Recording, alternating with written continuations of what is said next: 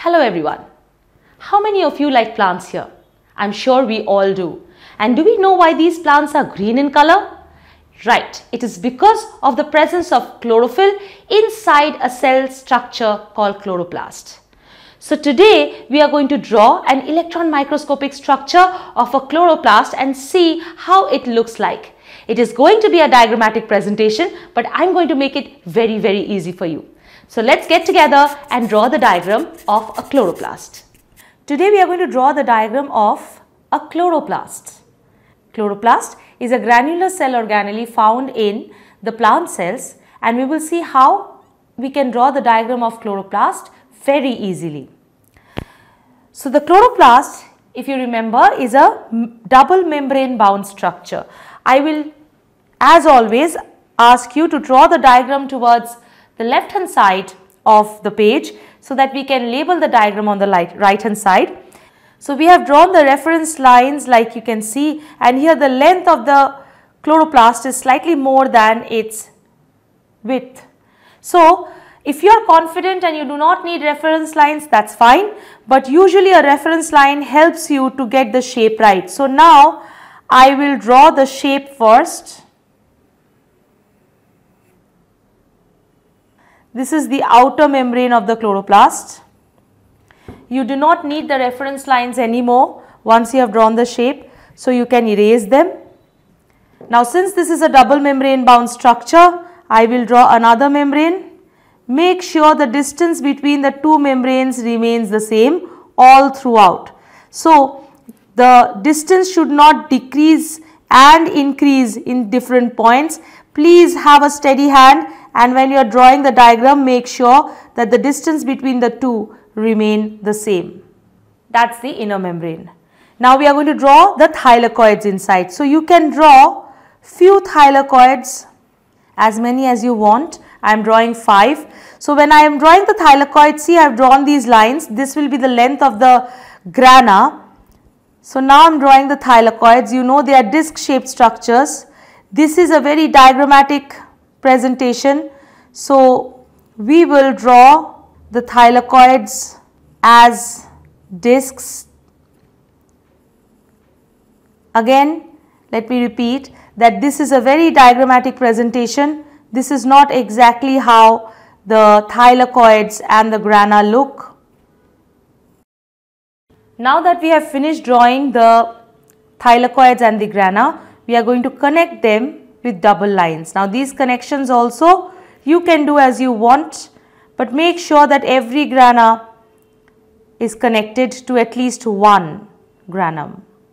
Alright, so that is how the structure looks like now. Now we will put dots to show that the chloroplast is filled with a jelly-like matrix. I am sure you know that this matrix is known as stroma. Be careful with the dots, do not rush the dots should look like dots and not lines. What else is present inside the chloroplast? Chloroplast like mitochondria has its own DNA. So, we will draw DNA here. And of course, it has its ribosomes.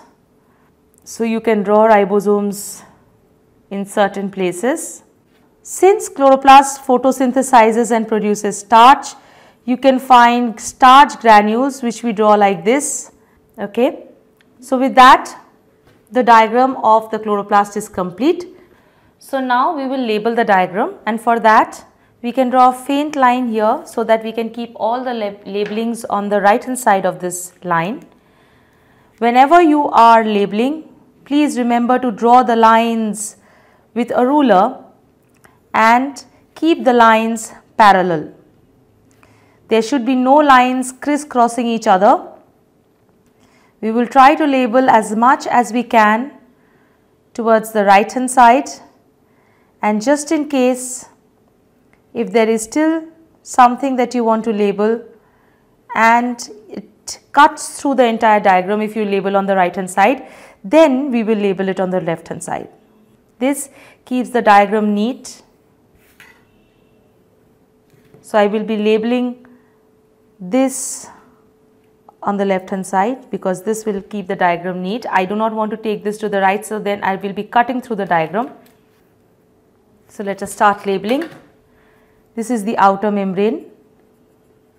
This is starch. This is the inner membrane. This is the space in between the two membranes. So this is known as the periplastidal space. This is the thylakoid. Since we are labeling only one, so this is the thylakoid. These are the ribosomes. So I am just labeling one. This is the DNA. And finally, this is the granum. As I said, granum is singular. Since I am labeling only one, I will write granum and grana is plural.